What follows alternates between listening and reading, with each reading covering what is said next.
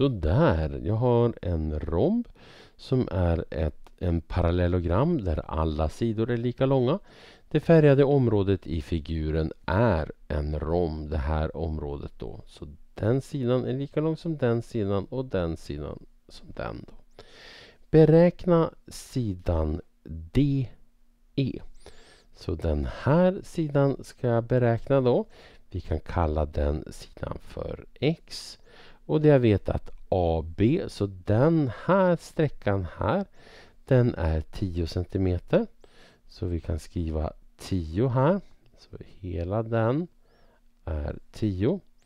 Och BC, så hela den sträckan här, den är 15 cm. Och då har jag ju då att den här sträckan, om alla sidor här är lika långa, ja då måste den sidan vara x, den sidan vara x och den sidan vara x. Och då så har jag också att den här sidan här, om den sidan är x så måste den här längden då från A till F den måste vara 10 minus x sådär. Och den här sidan där den måste ju vara om jag vill då 15 minus x om jag behöver. Men jag tror inte riktigt jag behöver det. Men här då så har vi topptriangelsatsen för här. Så om vi har att eh, parallellogram där alla sidor är lika långa så måste också den och den vara parallella med varandra och den och den måste vara parallella. De måste vara parvis parallella här.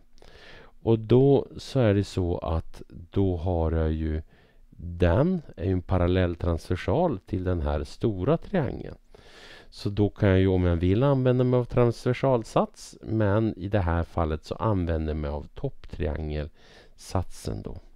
Så jag skriver så här då att eftersom eh, EF är parallell med eh, BD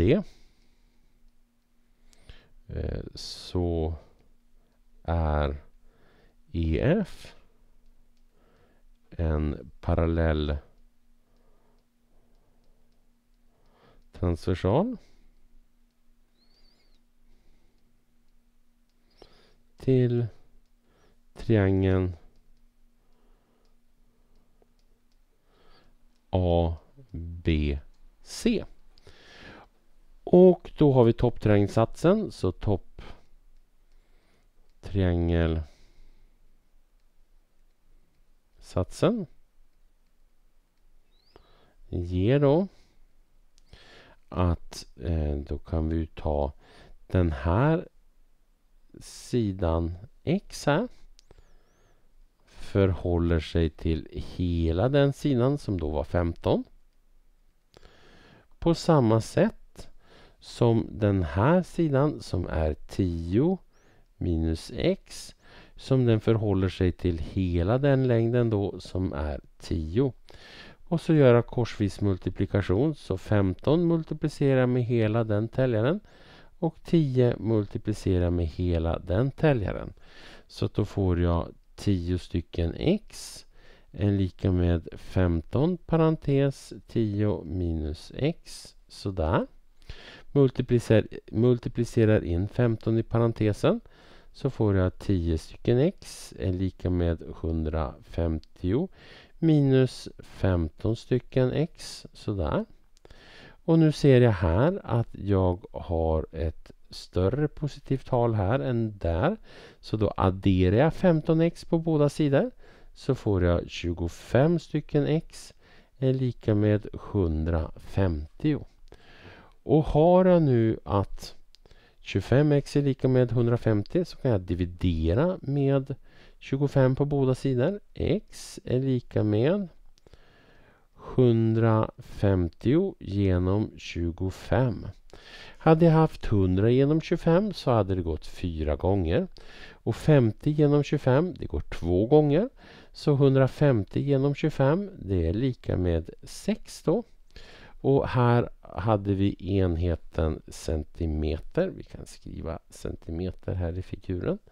Så det betyder att x här är 6 centimeter. Och då har jag ju räknat ut då den här längden DE till 6. Så svar här sidan DE är 6 centimeter lång. Och då funderar vi på värdesiffror. Eh, om vi har två värdesiffror här i 15 och här om vi säger att vi har två värdesiffror här också. Då kan vi svara med 2. Så ska det stå 6,0 där, 6,0 där och 6,0 centimeter där. Så där, då är vi klara med den uppgiften.